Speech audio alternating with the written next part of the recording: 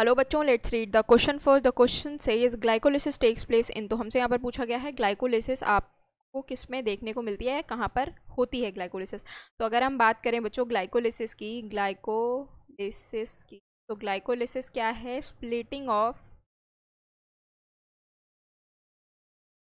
Glucose glucose की splitting है। अब ये क्या, किसमें होती है? ये आपके होती है साइटोप्लाज्म में।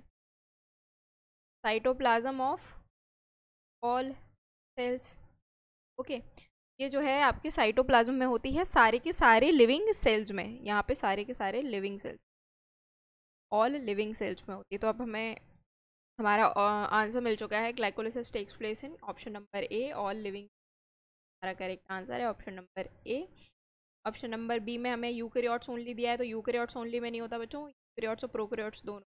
रहा है तो फिर यहाँ पर ओनली लिखा है तो ये गलत हो जाएगा। ओनली लिखा है तो ये गलत हो जाएगा। लिखा है तो ये गलत हो जाएगा। करेक्ट आंसर आपका है ऑप्शन नंबर ए होप आप लोगों को ये सोल्यूशन समझ में आया बच्चों। Thank you all the best